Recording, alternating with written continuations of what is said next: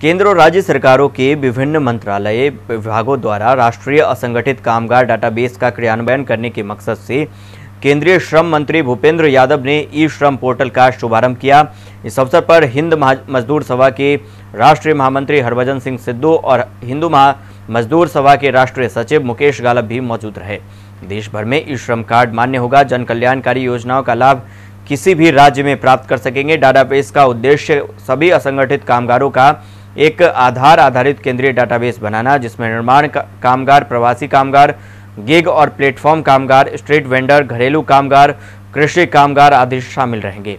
हिंद मजदूर सभा के राष्ट्रीय महामंत्री हरभजन सिंह सिद्धू ने इस ई श्रम पोर्टल का स्वागत करते हुए कहा कि इस पोर्टल पर अन्य जो कामगार छूटे हुए, छूट गए हैं, उनको भी इस डाटाबेस में शामिल किया जाए।